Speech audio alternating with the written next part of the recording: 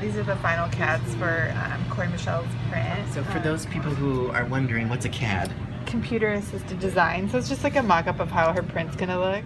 We recolored the background. So it was like an existing print, but she wanted to brighten it. So we brightened all the colors and they're submitting this CAD and we wanted to kind of darken these leaves a little bit because it's kind of popping too much. So they darkened up the shade on the orange and we're gonna go forward. okay, it's 18.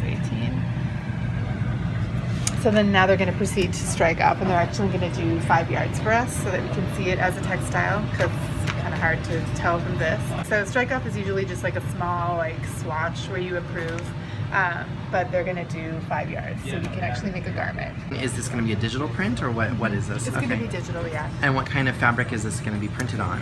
It's on a, it's a, called a Phoebe crepe. I'm going to explain that.